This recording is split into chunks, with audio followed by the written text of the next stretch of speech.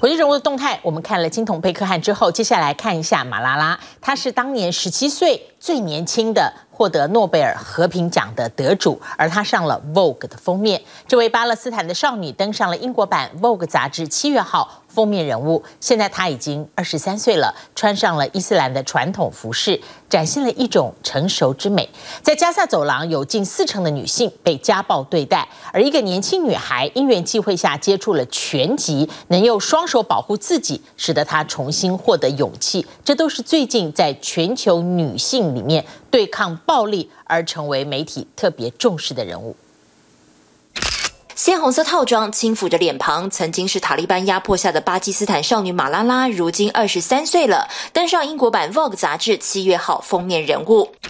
内页照片，马拉拉以红衣搭配蓝色头巾，充分展现伊斯兰女性之美。专访文章中，马拉拉提到，传统服饰让女性倍感压迫，但现在女性已经有机会为自己发声。When girls cannot go to school, they lose the opportunity to pursue their dreams. and our world loses their potential. 曾在联合国演说，高声疾呼全球重视女性受教权。马拉拉二零一四年以十七岁最年轻得主之姿获颁诺贝尔和平奖。去年刚从英国牛津大学毕业，具有政治、哲学和经济学学位。将逆境化为转机的成功故事，是中东地区女性的希望之光。但塔利班的压迫也从未停止。以微笑开启崭新的一天。走进教室，一群年轻女孩求知若渴。担任讲师的西敏·山姆斯，同时也是学校创办人。出身阿富汗北部富裕人家，有别于其他富二代前往西方国家留学。他从十六岁起和姐姐一起筹办这座私人学校——塔基大学。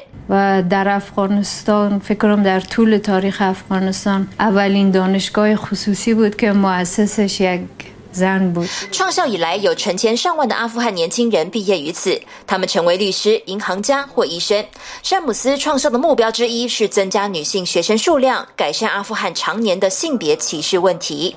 افغانستان کشوری است که تقریبا سالها جنگ دیده است و افغانستان هم مثل کشورهای دیگه میخواد باشه و ضرورت به دکتر خانم هم ضرورت داره به خاطر که در بعضی از قریجات مثلا مردای وجود داره که نمیمونه خانم‌هاشون در پیش دکترای مرد بره 九零年代被塔利班组织所统治，阿富汗女性足不出户，只有在紧急情况下由丈夫或男性亲戚陪同才能踏出家门。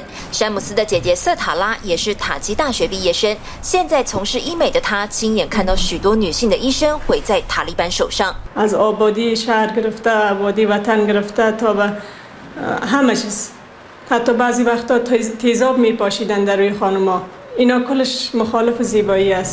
但姐妹俩现在如坐针毡。美国政府宣布将在今年九月十一号前完成阿富汗撤军，意味着塔利班要回来了。他们会遵守和平协议吗？学校会不会成为箭靶？詹姆斯不敢多想。每天下课后，他都会乘坐防弹汽车来到乡间，看着自己养的宠物马，享受这片刻的宁静。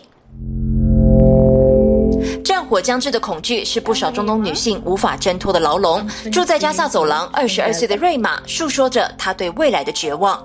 I've graduated English and French literature last year, but still no job.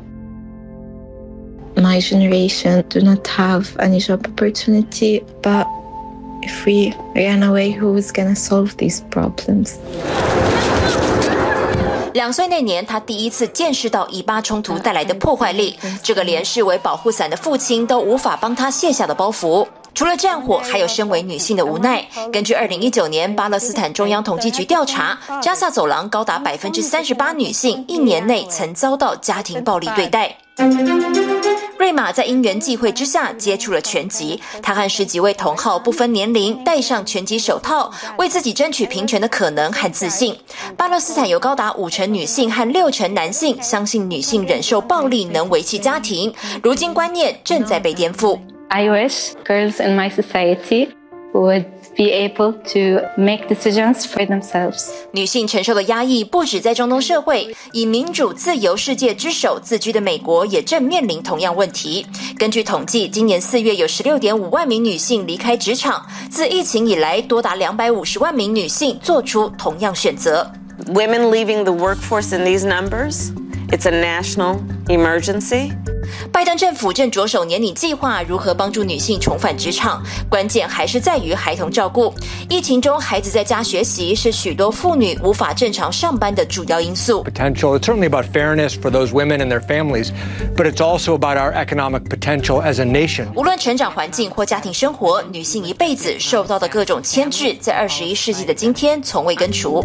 但永不放弃的女性力量，也在世界各角落展现。期盼都能像马拉拉一样，将逆境化为转机。TVBS 新闻综合报道。